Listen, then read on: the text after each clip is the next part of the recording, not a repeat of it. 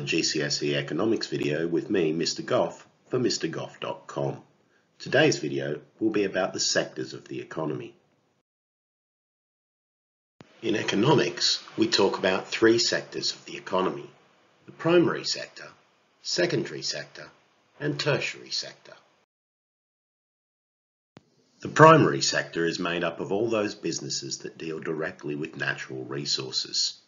That is, the things that come from the factor of production known as land. This includes agriculture, fishing, forestry, mining, oil and gas extraction, and quarrying.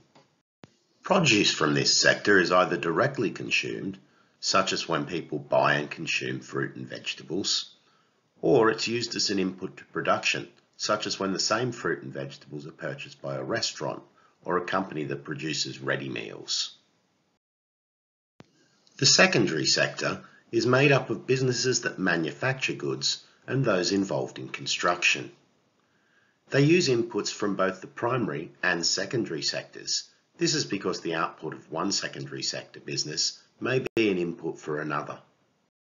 Most smartphones, for instance, are made up of specialist parts produced by completely different companies and combined together by the maker of the phone.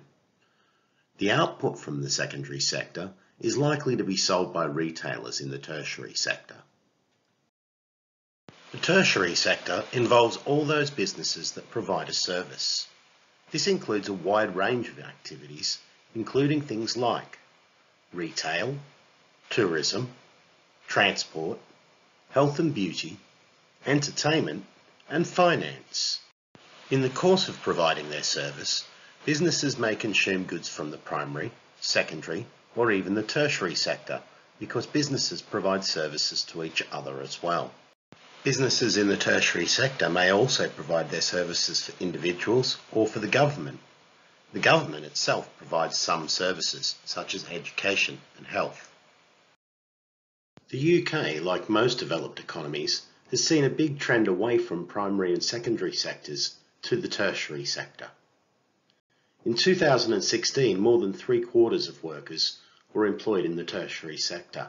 That compares to about half of workers in 1950.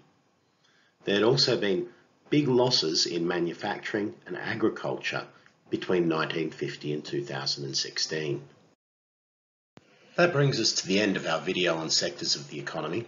I've been Mr Goff from MrGoff.com I hope you'll join us again soon for some videos on specialisation. Bye for now.